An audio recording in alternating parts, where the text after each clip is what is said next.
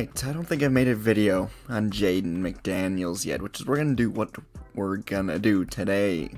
Language, English, I got it. So Jaden McDaniels proves, once again, for Timberwolves fans that have gone through this a million times with a bunch of pretty good players. Development is not linear, right?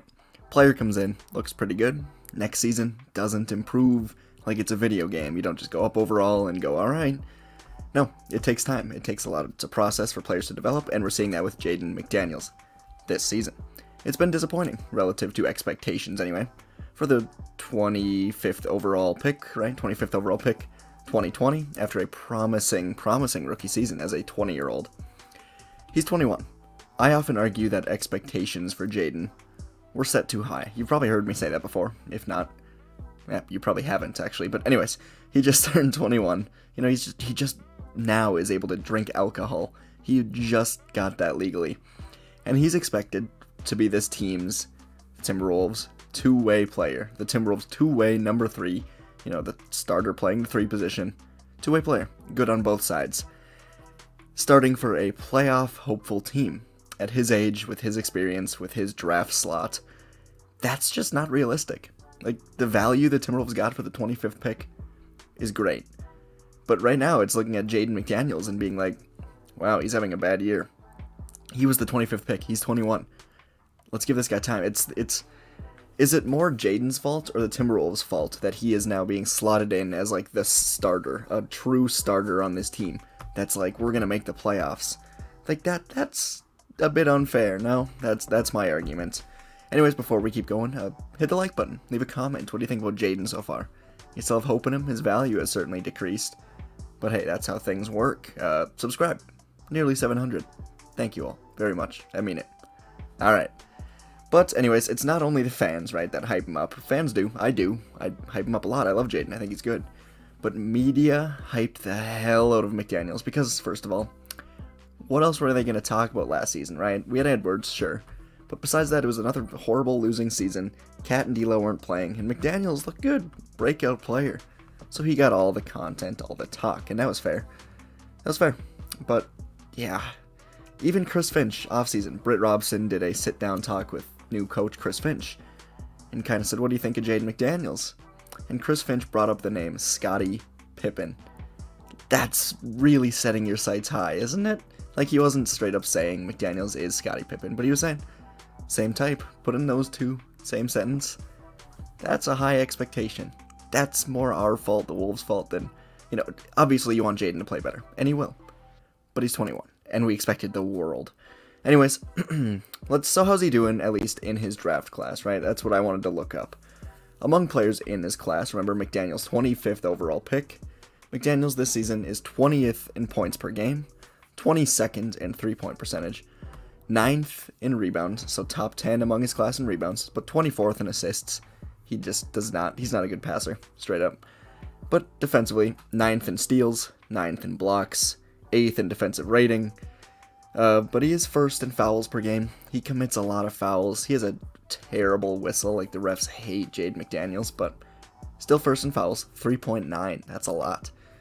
15th in offensive rating, and again, the rating stats don't mean too much for individuals this season, yet anyway and 30th in usage percentage among all those drafted. He's tw- drafted 25th, 30th in usage percentage. So the Wolves really don't use him when he's on the court, and I think maybe they should have been more. But obviously, the shooting numbers, they're they're not very good. Effective field goal percentage, 44%. True shooting percentage, 45%. At the rim, 54%. Mid range, 39%, and three point percentage, 26%. With free throws at just 60%, similar to what he was last year. Now for comparisons real quick, just bear with me for a minute. His true shooting is 45% this year. It was 56% last year, so about 11% higher. At the rim, 54% this year. It was 62% last year. Uh, mid-range, it, it is 39% this year. It was 43% last year, so improvement there. And three-point percentage, this one is huge. 26% last year, or sorry, 26% this year from three, Last year he was 37%, so 11 point improvement from 3 and from true shooting. Overall, he was just better. Assist percentage, 5 percentage this year, 6% last year, pretty much the same. a bit higher in turnover percentage at 15% compared to 11% last year, but yeah, offensively, he has been worse this year by quite a wide margin than he was last year when he really broke out. Jaden getting going, it wouldn't unlock this offense per se, like, it just wouldn't. He's not that impactful. That's up to the big three. Ant, KAT, D'Lo, if the, if the offense is going to be unlocked, it's going to be because of them. But Jaden getting going would help a ton. If he can effectively cut, we saw a bit of it last game. I don't think I have the clip, but we saw a bit of it last game, effectively cutting Jaden and hitting some corner threes at a league average rate. That's really going to help. We've seen bits and pieces of that, but more is needed. If he's hitting shots, defenses actually have to account for him, and that opens up things for KAT, D'Lo, and Ant. It just does. But he's still getting 25 minutes per game, despite the major offensive inefficiencies that I've pointed out. I mean, so is you know, Beasley and others that can't score. And they don't provide nearly as much as McDaniels does on the defensive end. He's really good on defense. Just for a bit of perspective, the Wolves have a 108 defensive rating when Jaden McDaniels is not on the floor. And when Jaden McDaniels is on the floor, the Wolves have a 100 defensive rating. So, 8 points better, despite his terrible offense. The website Dunks and Threes comes out with a percentile for everyone, offensive and defensive. McDaniels is 14th percentile on offense. He was 33rd last year, so he's gone down 20 there about. But he's in the 91st percentile on defense. 91st, so the top 10 percentile. Last year he was at 73. Dunks and Threes, this website that I'm using to with the percentiles, has him as a top 30 defender in the NBA. That's pretty good obviously. Any other Wolves in there? Let me actually. Okogie is a 98th percentile defender this year. Uh, Dunks and Threes has him as the sixth best defender in the league. So the Wolves have two guys top 30, at least as I continue to look through here. Yep, so two guys top 30, and then Jared Vanderbilt is the 89th percentile. So those three together are good. They're really good defenders, and they've shown that this year. All three of them also.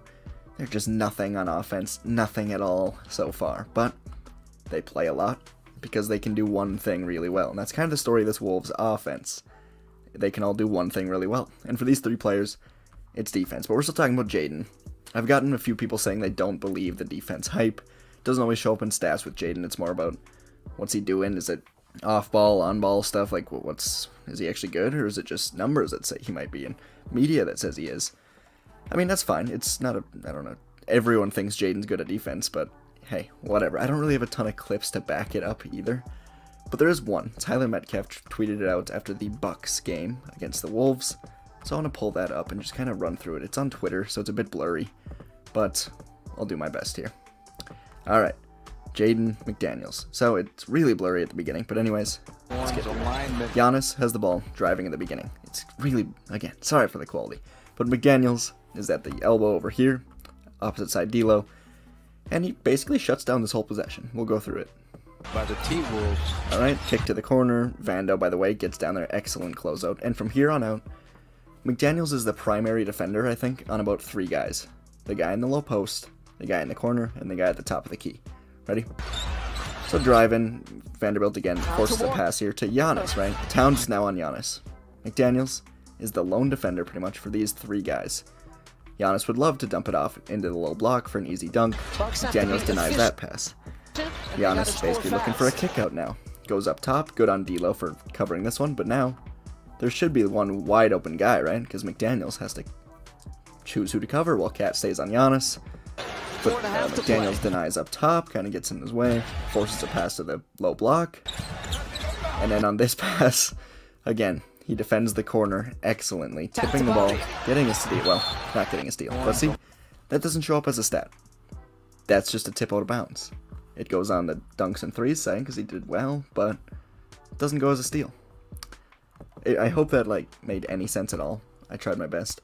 If not, I apologize.